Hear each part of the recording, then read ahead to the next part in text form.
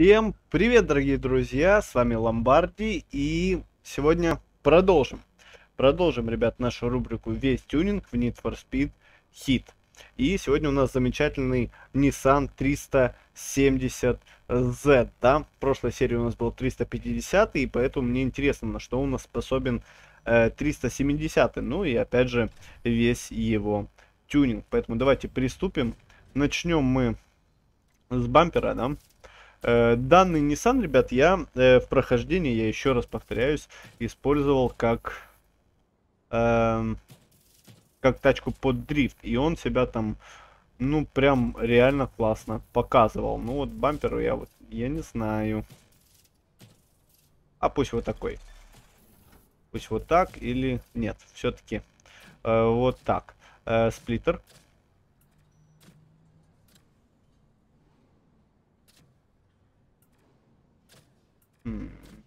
Не знаю, не знаю, не знаю, ребят. Наверное, вот такой вот сильно прям большой ставить не будем. Э, дефлекторы, ну почему бы и нет.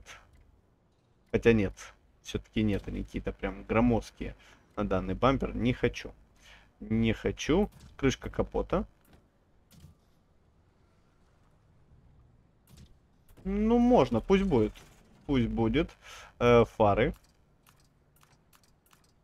Ну, только можем, да, перекрасить. Ну и давайте, давайте, пусть будет тоже. Э, далее. Передние крылья.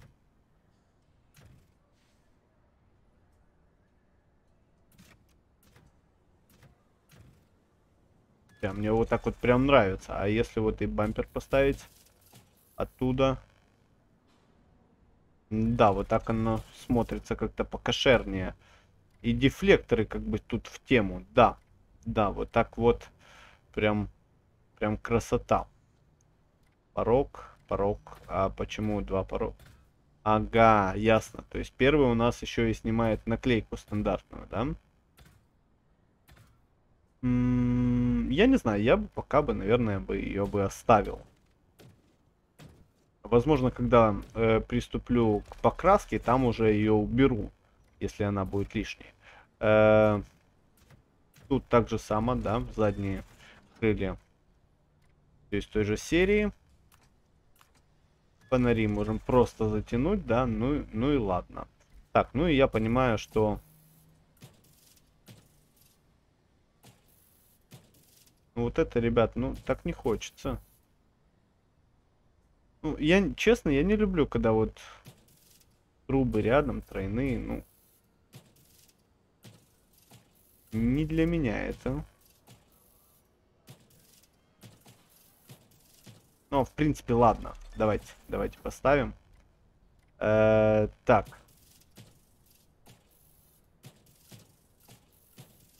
М я не... А, это задний бампер. Диффузор нам недоступен. Ну, по выхлопным, походу, придется ставить стандарт. Ну, либо... Либо вот так. Но смотрится это все дело как-то убого. Нет, давайте. Где там стандартный? Нет, это бампер, господи ты, боже мой.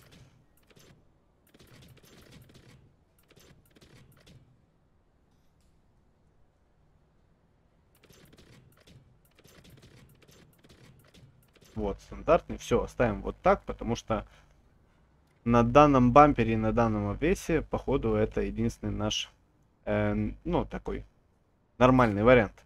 Э, далее. Э, далее спойлер.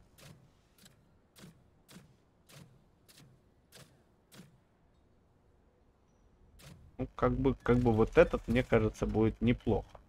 Э, так. Зеркала. Ну, тоже тоже как бы, ну, не алё. Не алё. Оставим, оставим по стандарту. Э, так, ну и наклейку дам пока, пока мы ее не трогаем. Э, так, колес, диски. Э, вы знаете, мне кажется, ББСы прям будет вайн на ней шикарно смотреться. Э,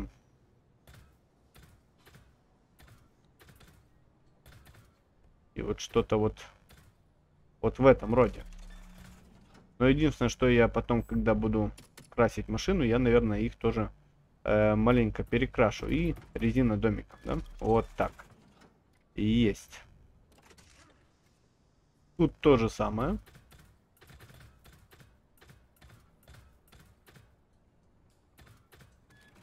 Да, вот наши диски.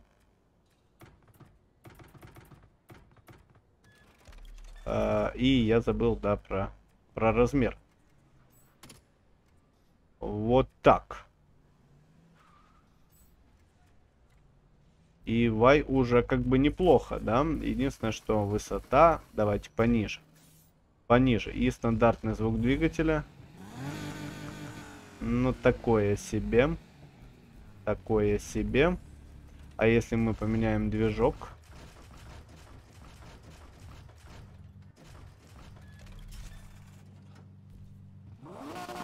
Тут поярче. Тут поярче, и сразу уровень тачки 357. И я думаю, в отличие от 350-го Nissan, у 370-го больше шансов получить 400 уровень. Ну, ладно, ребят, сейчас за кадром. Как обычно, я поработаю над внешкой и обязательно вернусь к вам. Итак, ребят, поработал я чуть над внешкой, хотя, в принципе, я перекрасил просто тачку, сделал с переливом краску, э, покрасил диски, ну, просто в хром кинул золото и э, серебро, которое шло по внешней части. И получилось как-то вот так. Я не убирал стандартную наклейку, и мне кажется, смотрится это очень даже э, неплохо. Ну, как на мой вкус и цвет. Э, ладно. Ребят, тачка имеет 400 уровень плюс, она прокачалась, так что, в принципе, принципе, все классно. И вы знаете, так как я на ней участвовал только в дрифте при прохождении, я бы хотел на данный момент э, именно именно задействовать ее, ну, просто вот по прямым и все остальное. Я не гонял на ней, я же говорю, использовал только в дрифте. Ну и давайте. Ой. Она что-то не повернула. А вы знаете, что она не повернула? Я знаю, ребят я допустил маленькую ошибку, а именно в том, что я резину поставил э, для драга, а не для трассы. Вот и поэтому она себе и прет вперед, и ей на все по барабану. Поэтому один момент я... Новый диван. Располагайся поудобнее. Э, резину все-таки поставлю для трассы. Потому что для дрэга это, ну, как бы, ну, ни о чем. Вот как-то вот так. И давайте еще раз попробуем. Если я сейчас опять влечу в забор, я буду просто удивлен, потому что когда ее пилишь под дрифт, она реально, она просто ходит боком. Каждый поворот она просит, чтобы ее вот бочком и вели. А ну. Не, вот, все-таки да. Дело было в резине, все-таки резина для дрэга, это резина для дрэга. А вот. Ну и держит, держит угол. А ну. Предел в 300 взяла. Ну и достаточно управляемая. Несмотря на то, что только задний привод, да?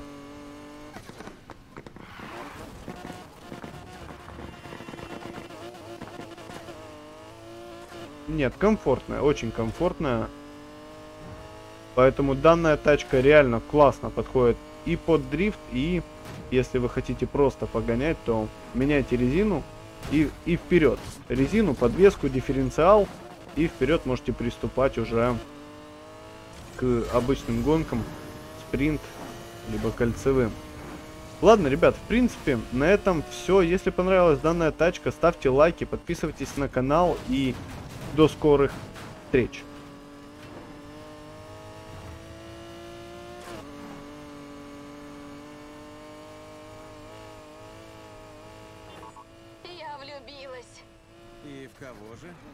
Большой, сильный, красивый, чуть за 50, тело мечты, я от него без ума. Речь о тачке, да? Ага, Камаро. А, Я бы жила в нем, правда? Только что забралась назад и проспала два часа, как младенец. Если бы в нем была ванна, вообще бы не выходила. Жаль, в магазины на машине нельзя заезжать. и можно было бы сэкономить на жилье. Именно. Мне не нужна квартира или какой-нибудь скучный дом на колесах. Нет. У меня есть мой прекрасный желтый зверь, и мои ноги больше не коснутся земли. Но в гараж ты все равно заедешь вечером, да? Да, конечно.